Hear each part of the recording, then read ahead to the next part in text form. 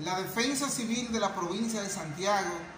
por instrucciones de la señora gobernadora licenciada Rosa Santos, iniciamos lo que es el proceso de desinfección en todas las instituciones públicas de esta provincia. Nosotros estamos desinfectando, iniciamos con la gobernación provincial, la fortaleza San Luis,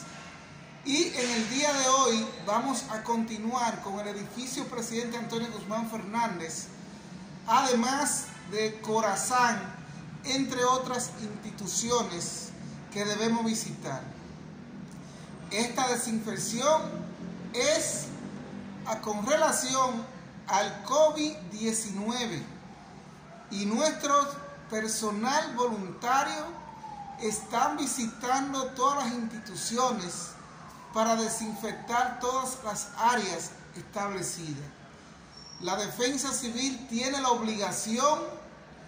de visitar tu institución y coordinar con el Departamento de Higiene y Seguridad todo el accionar establecido. Por eso estamos llamando la atención que en Santiago las instituciones públicas están siendo desinfectadas por el personal voluntarios de la Defensa Civil de Santiago, como no ha instruido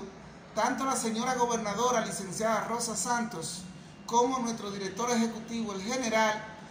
de brigada Rafael Antonio Carrasco Paulino, director ejecutivo